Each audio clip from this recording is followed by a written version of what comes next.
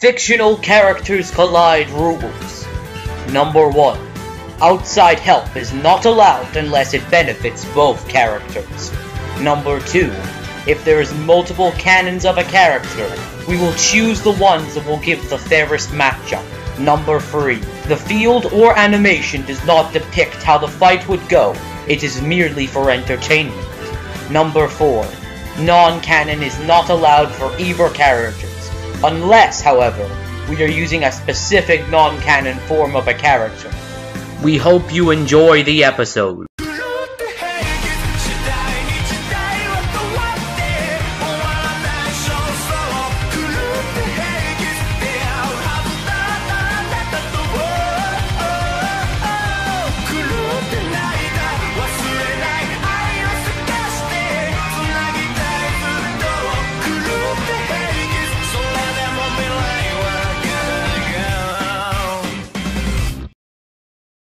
Ah, Greek mythology. One of my favorite topics to study. Wait, you actually study? I mean, like, study things that aren't torture? Color me impressed. Well, yeah. Gotta keep you on your toes, buddy. Wait a minute. First isn't a color. Uh, But back on topic. Greek mythology gets pretty fucked up. Like, really fucked up when you really look at Zeus. well, luckily, today's fighters take Greek mythology and go down a lighter route. You could say that it's a bit of a shocker. Damn it, Archer! Shut up, that was funny. Anyway, Hercules, Disney's own son of Zeus. And Billy Batson, the normal kid turned superhero, Captain Mar- uh, I mean, Shazam. He's Demon and I'm Archer. And it's our job to analyze both these characters to their fullest, see what happened when these two fictional characters collide. High up on the mountains of Olympus, a celebration was held. Zeus's new son was born, and all were there to grant gifts to the child. All except for the best character in the movie, Hades, who at the time was planning on taking over Olympus with the power of Titans. But thanks to a vision from the Sisters of Fate, he discovered that the newborn child would be the one to stop his plans. To prevent this from happening, he sent his goons to not kill the baby, but to feed him an elixir that would take away his godly powers. The problem was that he had to make sure he drank every last drop, and they missed just one. Good job, stupid. But since he lost most of his godly powers, he was brought to the mortals and raised by farmers for most of his young life. Oh, and then he found out he was a god. As you do. So after talking to Daddy Zeus and being trained by Danny DeVito, Demon, that's that's not actually Danny DeVito. That's that's Phil, the the satyr. what you meaning? He sounds just like him. He has a small and hairy body. He eats the trash too. He's the trash man archer. He just grabs all the trash and he eats it all up. That's Danny DeVito. You would have expected that after nearly two years, I'd get used to this. Sometimes I wonder what my own arrows would taste like. Anyway, this sparked his journey. His journey to become someone in the same league as the rest of his family. And he didn't go empty handed. For one, he has his mighty sword to shoot arrows and cast exploding pineapple shells. No, I'm kidding. It's a sword. What do you think it does? Well, with it he can bend it and throw it like a boomerang, and he can even shoot lightning out of it as well in the video game. Oh, yeah, right. But that's not all. He's an amazing fighter in close quarters combat as well. The guy really loves to punch stuff. Yeah, that's kind of it. Wait, how could I forget? He also has his Pegasus, which he has had since his birth. It's a Pegasus so it can fly, and that's, again, kind of it. Huh, alright. Let's get to the feats. For one, Hercules is insanely powerful, even in the early parts of the movie. With a single hit, he caused this giant avalanche that crushed the Hydra, and he was able to plug up a volcano with a regular boulder, which, if we're being technical, is as much of a feat for the boulder as it is for the guy himself. Well, bless my soul. Earth is on a roll. Personal. He also beat up Hades, who caused this explosion as well, and even destroyed an entire forest. That's nothing compared to his greatest feat, where he scooped up four titans together, threw them into the air, and caused them to explode into a solar system. Yeah, he did that. With speed. It's kinda hard. He has demonstrated the capacity to run at superhuman speeds, and that's, again, kind of it. Demon, care to explain his faults? He smiled, the girls went wild. Right. Well, with weakness, he's not the most experienced at fighting. So they slapped his face. He's been taught to be a hero, and that's it. He has had a few fights though. He's also a bit short-tempered, but in the end, Hercules has shown he has the right to be up there with his family, as a god.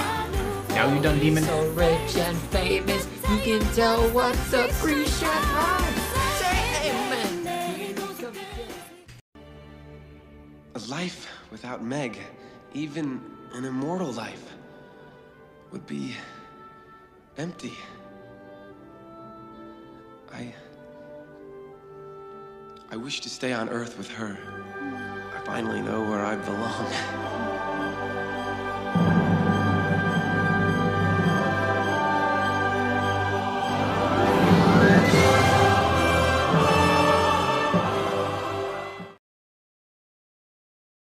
In the city of Fawcett, there lived a homeless 12 year old boy who sometimes is 14, but that's not important. William Joseph Batson, a seemingly normal child, one day came across a green cloaked old man who gave him magical powers because of Greek gods and a magical rock.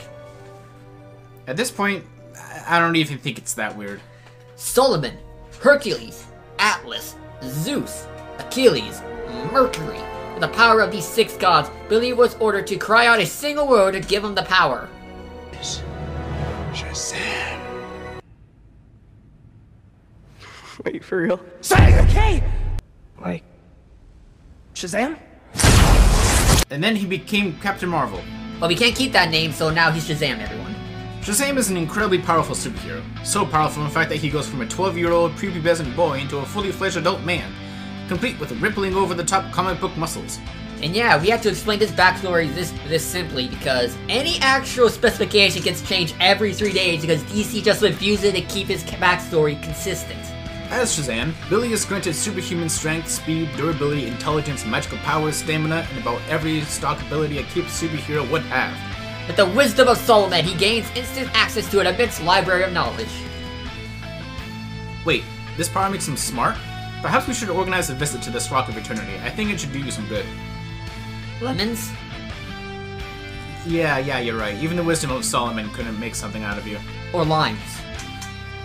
Shazam has incredible mental ability, a vast knowledge of languages and science, incredible memory, an immense understanding of paranormal and mystical events and terminology, and the capacity to instantly decipher mathematics and coding.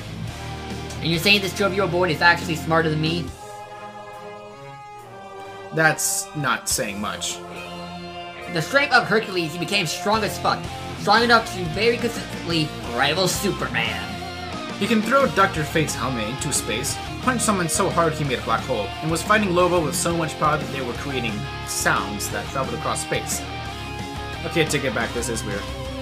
And as I said, he was consistently matched the powers of Superman, Black Adam, and Martian Manhunter. Superman being the same guy who tanked the explosion that took out multiple solar systems. The stamina of Atlas, he never feels tired and never feels the need to sleep. It gives him the durability necessary to tank hits from Superman, the Void Hound which just happens to be that multiple solar system busting weapon. It can even take on foes using Toon Force. It also gives him a magical healing factor so intense he can regenerate from being turned in- inside out. Jesus! He can survive in space and is biologically immortal, meaning he can never die of old age. While his super form can't at least, his actual form still can. Power of Zeus gives him, well, exactly what you think. It gives him epic lightning powers capable of killing the likes of Superman. A feat that means almost nothing because Superman is weak to magic. Well, it's still very powerful magic, and it does more than just give him lightning powers. It also grants him interdimensional travel, time travel, heightened senses, resistance to magic, and yes, just blasting things to heck and back. With the courage of Achilles, he is given immense mental fortitude, giving him super willpower and resolve. In other words, it means he never gives up. The speed of Mercury makes him fast. Really fast. Fast enough to keep up with Dr. Fate, Flash, Power Girl, and Superman. He can transform between human and super form faster than gunfire and make a tornado. He is faster than gravity. Whatever that means. Unlike every comic character ever, massively faster than light, because we all know light is one of the slowest things ever. With these abilities, he has achieved incredible things. Primarily, he has taken on Superman level heroes and villains. He is able to know the abilities of an enemy he's never fought, match foes many years older than himself, and wields some of the most potent magic in the DC universe. Of course, with all the abilities comes some weaknesses. I guess. In theory, he's a young and inexperienced. He's a bit of a naive dork and very immature. But Whether or not that actually acts as a weakness for him depends almost solely on whoever's writing him at the time. Sometimes he's a super competent boss with the wisdom of Solomon, other times he's just a kid with the powers of Magic. It's just about as consistent as, well, the rest of DC, honestly. But amongst all, all the inconsistencies, one thing remains the same. Shazam is one of the most powerful forces in the Justice League. Don't mess with this child or you'll find experience rather... shocking. Oh, come on, that's just the same pun I used earlier. Yeah, but mine was better. How? Freddie, you were right. I'm sorry I yelled at you. Come home,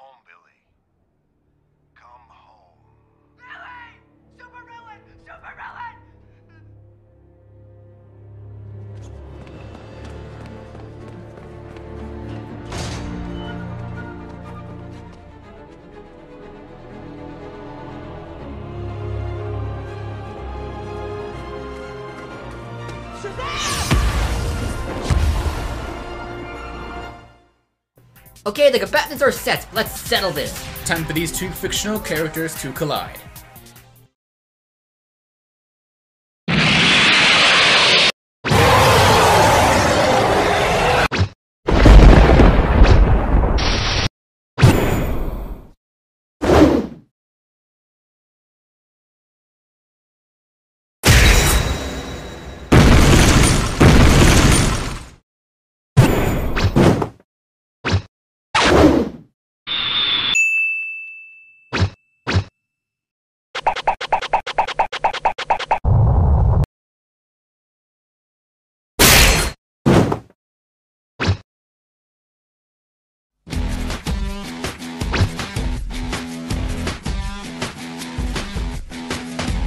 Are you ready? Who will come out on top?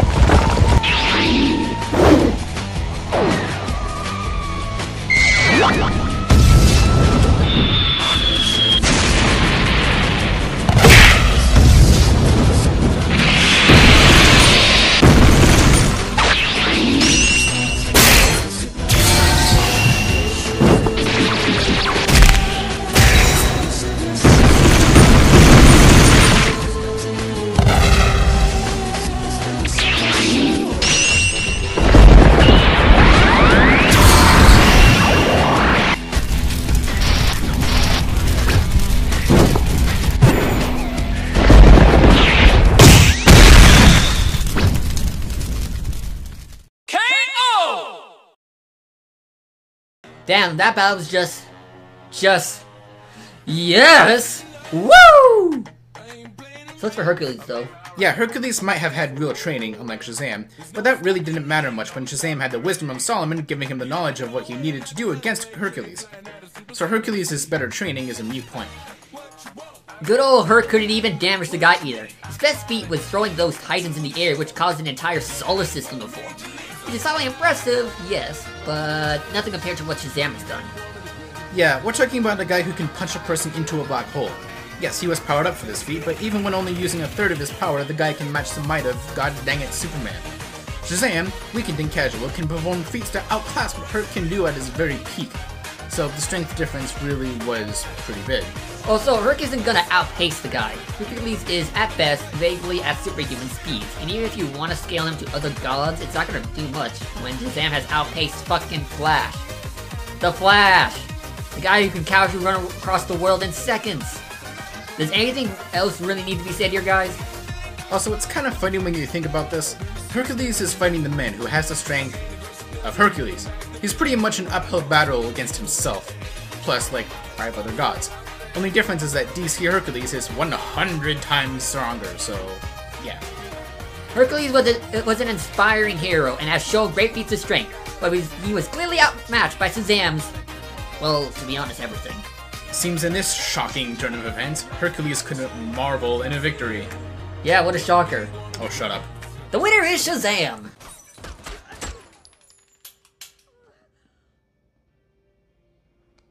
It kind of tickles. You're dead. Next time on Fictional Characters Collide.